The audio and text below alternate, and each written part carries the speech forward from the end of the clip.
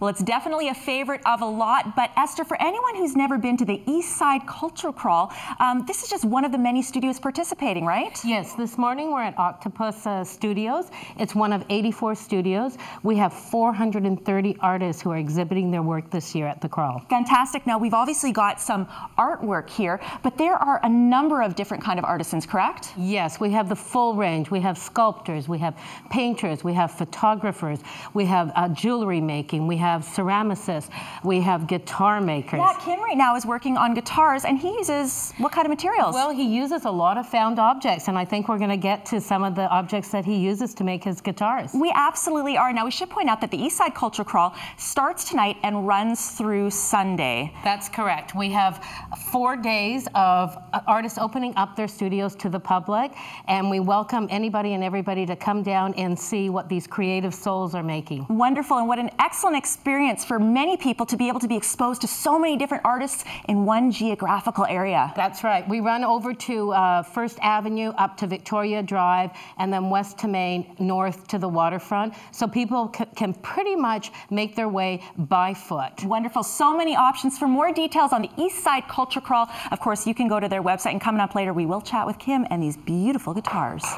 All right, who doesn't love a wonderful guitar? But imagine a guitar made, made of things that you just don't even expect. Kim, first of all, sorry to interrupt you. Good morning. Good morning. What are you doing right there?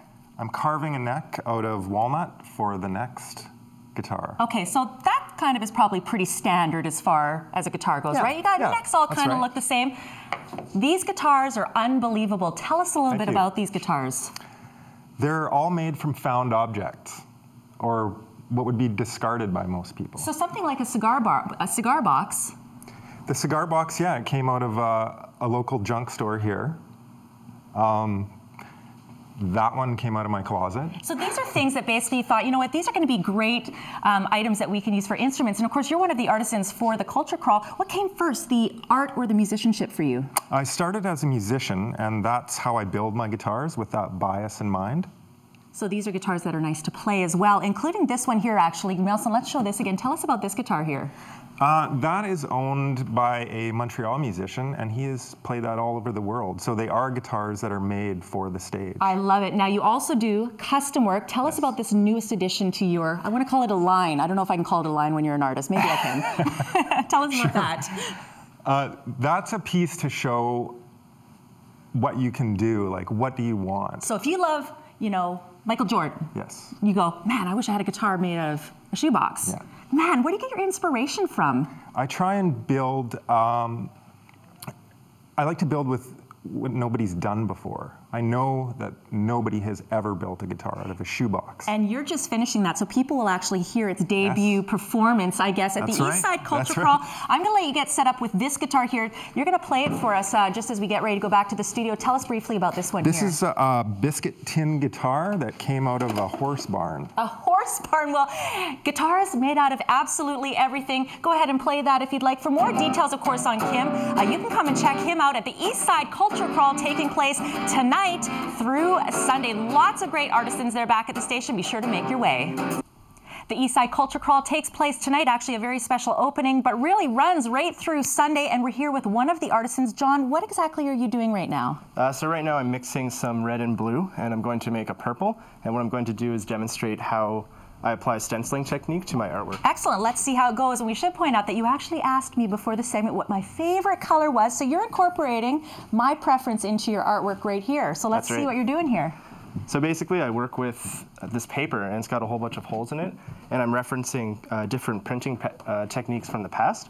So like a newspaper or like you know a package design or whatnot. And this is near and dear to your heart because you actually also work in advertising. That's right. Yeah. So this is how I tie together what I do in the day, and just gets informed from you know what you find in uh, packages and logo designs, and just work it into my canvases and my wood panel painting. Excellent. Let's let Nelson uh, give everyone a little bit of an overview. Tell us a little bit about what your, um, I guess, your focus is when it comes to your artwork. It's, it's basically about examining, you know, the downtown east side and just the beauty of back alleyways and discarded materials and things like that that just kind of find themselves into you know, the, the street and just like kind of evaluate how they're beautiful and discarded. Now, of course, with the Eastside Culture Crawl, I mean, really, it's a chance for people to be exposed to a number of different studios and artists. What is that like for you? Because you have actually participated in the crawl before. That's right. So I participated last year for the first time, and it's really great because you get a you get a good crowd of folk that wouldn't normally be here for you know checking out artist studios and whatnot. So it's really neat to expose them to what I'm doing, and they get to come in and see the space. And people love seeing where the artist works. It's just really cool. Absolutely. Well, for more details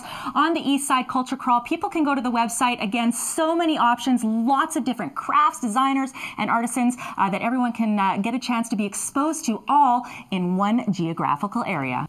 So a lot of people attend the Eastside Culture Crawl, and if you've never done it, it's your chance to be exposed to over 400 artisans, everything from crafts, design, and of course something like uh, slip casting. I don't think a lot of people know about. And tell us what slip casting is. Uh, slip casting is a special ceramic forming technique where you pour the liquid clay into the plaster mold. Okay, so you've got a mold like this. You're not Yes. actually using like a pottery wheel at all. I use a plaster mold I make I made myself. And I pour in. And so when you look at something like this, is this just clay, literally? It's clay mixed with some uh, liquefying uh, agents. Excellent. Okay, so I've got that poured in right now.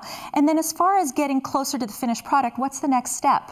The next step, I let it stand for like a couple of minutes, depends on the size of the piece. Okay. And then we can pour it out. Okay. Yeah, let's try it. So sure, you pour it out.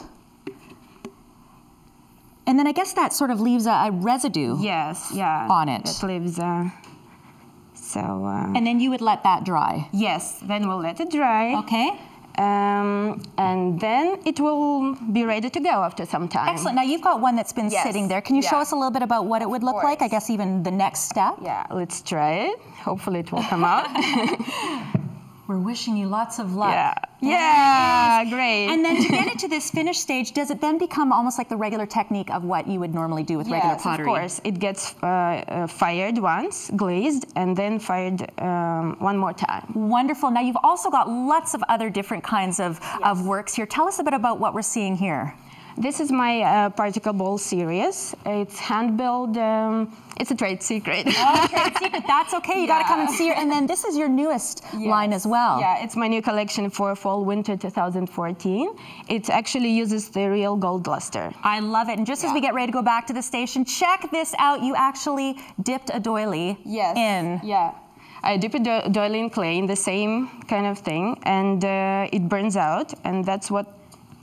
Yeah. Beautiful. leaves. Beautiful. Well, if you want to check out the great work of Anne and all the other artists here at the Eastside Culture Crawl, again, kicks off tonight with a special uh, opening and, of course, runs right through Sunday. Go to the website for more details.